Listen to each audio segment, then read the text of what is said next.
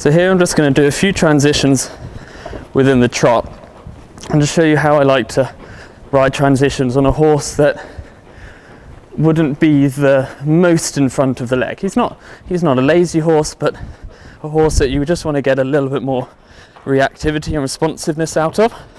Uh, my adjustments to the trot, I'm going to be doing it through half halts, but making sure when I half halt, I keep the leg on at the same time. If I were to make a half halt, I just lose a little bit of quickness behind, making sure I'm disciplined with myself that my legs are on, because it's really easy for riders to forget when they're half halting to keep the leg on the horse with a really nice light contact. I'm completely on my seat and I keep a nice quality trot still. And even with a light rein, I can bring him back and a half halt in the trot.